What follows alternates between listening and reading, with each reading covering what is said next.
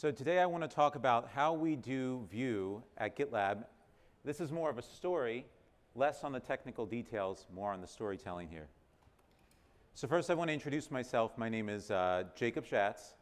I am a staff developer at GitLab, and I had the really awesome opportunity of becoming the first front-end developer at GitLab. When we didn't have a front-end engineering department, I came in and started building that. So what is GitLab? GitLab is an open source, web-based um, Git repository manager, but it's so much more than that. And GitLab has a bunch of different views, and I'm going to show you some of the things that I typically use on an everyday basis. So this is the uh, repository view where you can see your files, and our syntax highlighting is really awesome. And here we're just looking at an individual file. You have your issues where you come up with ideas. Can everybody hear me okay? Great. Uh, where you come up with ideas and you uh, post bug reports, all that sorts of stuff. And then when you actually write the code, you have merge requests um, where they, the uh, code can be approved. I spend most of my time in here because I'm often reviewing tons and tons of code. And then we have our built-in CI and CD where uh, the tests run on gitlab.com itself, or you can host GitLab yourself. So let me tell you about the problem that we had on the front end. When I first joined GitLab, uh, the JavaScript was written on an as-needed basis. So there was a lot of inline JavaScript styles, uh, a lot of uh, global variables, a bunch of stuff like that. And you can also see that there's Ruby that's written uh, inline, because you could do that. Uh, so you have JavaScript in HAML mixed with Ruby, and this is around December uh, 2015. So JavaScript was written on an as-needed basis. Rails uh, has this really magical thing called remote true, uh, where you write your form, and then it kind of ajaxifies your form for you, which is really great. It does this uh, data remote equals true. The problem is you don't really understand how this is happening. And if you're doing anything more than just a simple uh, CRUD application, then you got to go a little deeper. Also, the JavaScript that you write is injected back into the page and then evaluated um, with eval. It's actually this really uh, uh, deep in the catacombs of jQuery, there's this eval function that it has, which is a little different than JavaScript's eval, um, which replaces the script tag, which uh, does some extra stuff for you. Uh, but this can be a, a problem. And the other thing was that we had big plans. We had really big plans for GitLab. Here's a, an example of our um, issue boards, which is similar to uh, Trello, where you can drag and drop issues, and uh, you can kind of plan out your entire milestone through this with labels and everything's updating automatically. So while you could do this with the existing way of doing things, it would probably be a really bad idea. It's not going to be maintainable for the long term. It's not something that you can scale. You wind up with that spaghetti code situation and then doing things like updating the DOM automatically. jQuery has its show and its hide and then the text and all that stuff. And so let me first, before we get into the Vue, talk about GitLab's modus operandum, our MO, the way we do things. We go with boring solutions. That means that you can get things done really quickly if you don't go complex right away and you just go really, really easy right to start off with. And we go for the minimum viable change. That means that you're going to take the smallest iteration to get the job done. And this is how we're able to ship things so quickly, is because we just take a small iteration on an idea, the smallest iteration that's possible. And then we also have this thing called manager of one, which is where everybody is very self-sufficient. And so in a typical week, I may only talk to uh, one of my reports once during the week because they know exactly what they need to do. I know exactly what I need to do, and everybody kind of just gets their job done. So everybody is very self-sufficient. So we needed a framework that would work for us, something that would work with the way that we do things, our MO. And we also needed a framework in general because this uh, sort of way of writing things in the Rails uh, way wasn't going to work long term for the big plans that we had. So here's what we needed. What we needed was a framework that was going to make it easy to contribute. GitLab is open source. And so we need other contributors who have never seen a framework before, maybe they don't know that framework, can they pick it up really quickly? Are they going to be able to just go in there and write code? We need it to be fast to learn, something that people can pick up quickly. The concepts should work on their own, meaning that the individual concepts of the framework can be applied and you can be immediately productive without knowing the entire framework as a whole. And we wanted something that wasn't absolutely gargantuan. So why not choose React? Super popular. Everybody was doing it. Uh, Mithril is really cool. 8 kilobytes, 56 kilobytes when it's not minified. That's 206 uh, difference between Vue. What were those 206 kilobytes doing? You know, why did you even need those 206 kilobytes? Couldn't be that important. So the truth is, is that when you choose a framework, there's probably no wrong answers. It's not like you're doing the wrong thing by choosing a framework. But for us, Vue was the easiest choice. Vue had the smallest learning curve while maintaining the largest functionality. And those two things were really, really important for us. Vue was also drop-in. At the time, we didn't have NPM, we didn't have Webpack, and so the asset pipeline in Rails allows you to just drop something in there. It's just like adding a script tag, and Vue just worked in that situation. And so we could iterate quickly. So in our discussion on the front end team when we were talking about this, we agreed that a lot of the frameworks were too big, too overtaking, and we wanted something that was small and simple. And so we took a look at Vue. Um, I had originally taken a look at Vue at around 0.6, version 0.6, and I just tried making a really big application in it because that's always your test. It's like all of these frameworks work, but when it comes to the complexity and the scale that you're going to be working on later down the road, which is hard to judge in the beginning, will it work? Will it be complex? Will you get confused? What will happen? And it was just easy straight from the beginning. So this main concept of like these eight lines of code, I think it's eight, yep, eight lines of code, if you understand these eight lines of code, where you have your, you're basically attaching it to a DOM element, you know, this div uh, with the ID of app, and then you have some data, and that message can change, and it automatically updates. This idea on its own presents a really small initial learning curve. And people who adopt Vue, who have never learned it before, can already be productive with this small amount of code. And that's really, really important for us, uh, that people can be, pro be productive immediately, because it goes with our small iteration. And as a lowest common denominator, what will it take for someone to get up and running? There's definitely more concepts to Vue. And when those concepts are introduced, there's not a whole lot that's introduced. These concepts can go in very small blocks, and people can adopt them really quickly. So this is some of the reasons. So let me just talk about a couple other reasons. For us, Vue was both opinionated and non-opinionated. When we adopt something, we're not going to immediately make up a whole huge rule book. We need to adopt it quickly and just start writing it. So when I say opinionated and not opinionated, Vue has this whole ecosystem. There's these problems that are solvable. They're like, you're going to run into this problem, this problem, this problem, this problem, and you're going to be able to solve it with these tools. So you have Vuex, you have Vue Router, you have the Vue style guide. But on the other hand, if you want to just write Vue straight without any of those things, it still works perfectly well. So let me talk a little bit about our release cycle here.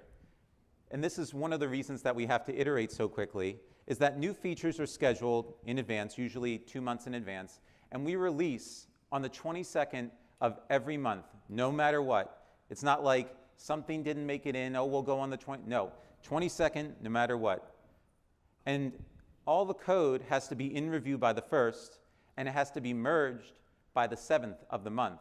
And so this is a very short amount of time to write code. And it also allows us the opportunity to write the code, and when it goes in on the 7th, we have the 7th to the 22nd.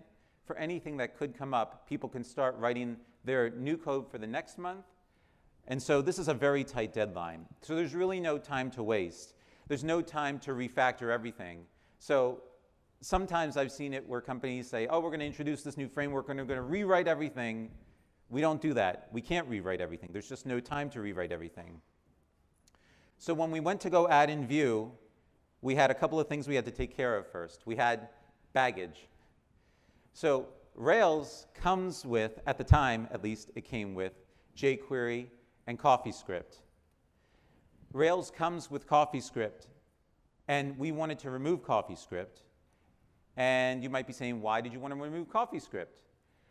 So CoffeeScript, if anybody doesn't know, is it's a solution to some of the problems that ES5 kind of presents. You've got uh, a class syntax where you can create classes really easily. And while you can do this in ES5, the prototypal type stuff is more complicated for people to wrap their head around. And they could write this really, really easily.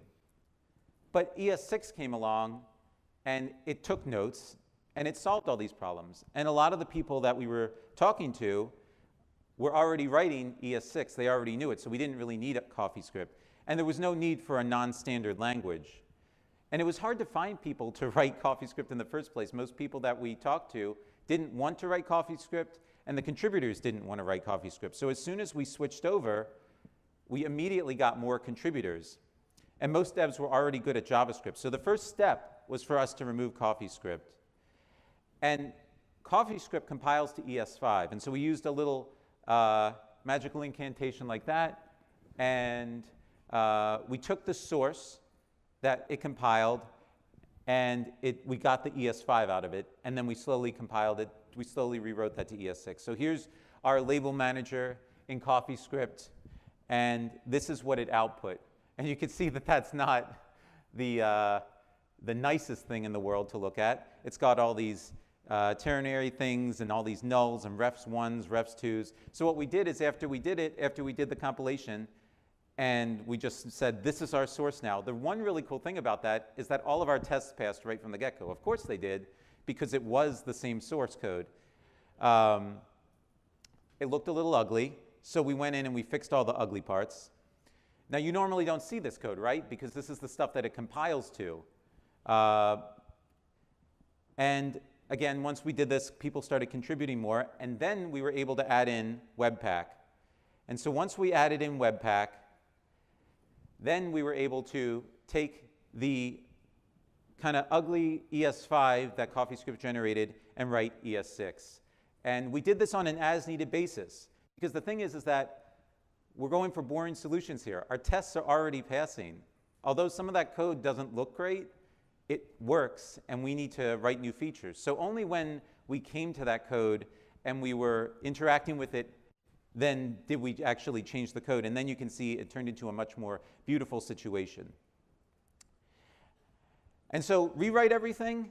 No, that's a horrible, that's a horrible idea. You know, a lot of people sometimes come up to you and they're like, okay, we got this framework, it's gonna be awesome, let's rewrite it. Don't do that. It's not a good idea because you need progressive enhancement we wanted to deliver the new code in parallel with the new features, which is a tricky thing to do. And so then what about Vue? How does it fit into all of this? Again, progressive enhancement, small steps, small iterations. We need to start simple and get complex later. So what was the simplest step? Start with Vue in these .js files, and then we can go to the .vue files later. So here's an example of a typical component that we would look at. I'll let it scroll because it's hard to read it while it's scrolling. But the most important part is at the bottom, you see your template you've got there. It's a multi-line template. It's a multi-line string. And so multi-line strings are great. There's nothing wrong with that. It's a good solution. Has several problems. Syntax highlighting. You can get a plugin for one of your editors, and that'll work fine. But GitLab's not syntax highlighting that. So when people are going to review that code, they have to look at that unhighlighted code, and it's a, it's a problem. Also the performance. This is not, uh, this has to be compiled. It's, a, it's, a, it's an extra step in there. So add in Vue Loader. Once we added in Vue Loader, we got a huge performance boost. There was, uh, Phil, uh, one of the developers on our team noticed that one, this one button component that we had was taking six seconds to compile, which is ridiculous. It's a button. What, what was it doing? Um, What could it have possibly been doing? Nobody knows. Um, and, but for smaller pages, you might not have noticed the difference, but it's like your credit card statement. It's those little things that add up into the bigger, uh, into the bigger amount of time. So it was a huge performance boost once we switched over to VueLoader because of this compilation uh, issue. So the outcomes. Our life was easier because we had less bugs. And we had less bugs because we wrote less code. When you write less code, you have potentially less bugs. And we had a bunch of other little things, like one of the things is event management. So um, Rails comes with this thing called TurboLinks. And TurboLinks kind of takes your page and says, the next page only has this little change stuff, so we're just going to inject it into the page. We're going to AJAX request it. We're going to inject the HTML you need into the page. And that seems wonderful. It actually performs faster. It's like, great, wonderful. The only problem is, is that if you didn't write your JS, if you didn't write your JavaScript exactly right, and the then you've got this problem where your events aren't being removed. And so there was all this code to remove all of our events for TurboLinks, just for TurboLinks. So we got rid of TurboLinks, and we were able to handle our events much better because Vue takes care of that. You're not adding event listeners, and it's, and it's not uh, that sort of thing. We also had a lot more reusable code.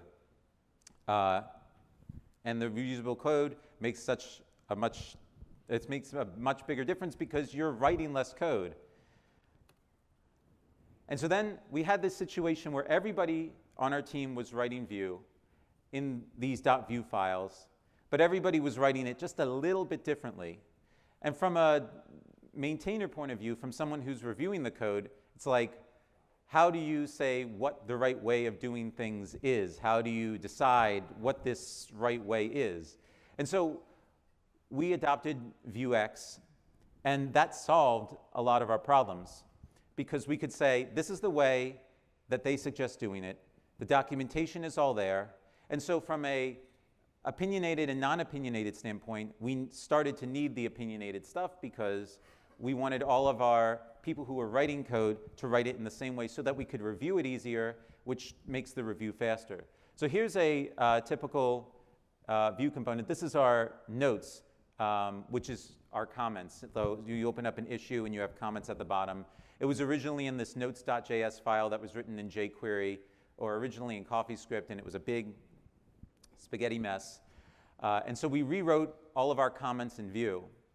And um, with, the, with the virtual DOM and all of that stuff, it, it actually made our, it, it was the one page where um, suddenly when we replaced that with Vue and we Ajax loaded all of the comments, that page became faster than all the competition, um, which was kind of amazing. We didn't necessarily know that that was going to happen uh, that quickly. And it was because things are rendering uh, a lot faster. And we, so when you're writing jQuery, one of the things that you're not doing is you're not like, all the things that Vue is doing, taking care of on its own with the DOM and all of these things, you're not thinking about that when you're writing jQuery, or at least you have to put extra effort into that when um, Vue is doing that on its own. So the other thing is you're looking at this and you're saying this is the typical structure of a Vuex uh, component. Uh, this is a typical structure of our nodes. So you can look at this, you see components, mixins, services, and stores, and then you have your um, entry point and your constants. Go to review this code, it's much easier to review because everything's written in the same way. And we made our docs, and our docs helped other people write docs. And this is the way that we write Vue at GitLab, which might be different than the way that you write Vue which is okay. But then we could follow this, and when people went to write it, we could say, okay, here's our docs. This is the way to do it. And so here we are at the present moment, right? We removed CoffeeScript. We switched to ES5. We rewrote some of that ES5 to ES6. We added in Webpack. We write big features in Vue. We don't write everything in Vue, but we write just big features in Vue. And we use Vue Loader for an easier programming situation, a more organized code base, and to increase the performance. And we use Vuex uh, for our coding consistency. And so what does the future look like at GitLab with Vue? Right now we have reusable components, but it's that situation where you start in a code base that's already written and you're not rewriting everything from scratch, so you're not going to have all perfectly neat, tidy, reusable components, especially when you're still trying to move forward here. So we're going into this process of creating reusable components. But there's a problem. Our CSS was not written in such a way to be reusable. And the CSS and Vue go hand in hand. Both need to be reusable. So our styles are not 100% consistent. And this is a problem that uh, is solved with PostCSS and Vue Loader. But it's solved with some caveats for us. It's like, great, let's create a reusable component. Let's build a button component. And so, you know, you got your style tag, and you've got your template, and when it's compiled, it compiles into this very unique uh, data attribute, and that works perfectly. But the problem is, is that GitLab is not 100% Vue.js. It might not ever be 100% uh, Vue.js. Okay, there we go. And so we needed two approaches. We needed that approach where components existed only in Vue. So there's going to be that situation where we write a component and it exists only in Vue. It's not being reused anywhere else outside of Vue. And we need that situation where components exist inside of Vue and outside of Vue. And so we created this thing called CSS Lab, and you're thinking, no, not another framework. Don't you dare write another framework. Um, it's not another framework. it's actually just the process that everybody follows when they put some sort of CSS framework in their code, and then they start writing code on top of that. This is just an organized way to do that. So we use Bootstrap 3 as a base, and we're just overriding the styles, and this is just an organized way to override those styles. It's an organized way to fit Bootstrap into GitLab, so why not make it official and give it a name and say we're going to follow certain conventions when we do this from now on. So it follows all of the Bootstrap conventions, which are really, really great and it's just basically Bootstrap and GitLab with great conventions. And you say, what about Bootstrap 4? Well, again, remember, boring solutions. Uh, we have a lot of Bootstrap 3. We got to reuse. We got to iterate. And we got to go with boring solutions. So we have the Vue component and we have the CSS component, which are two separate things.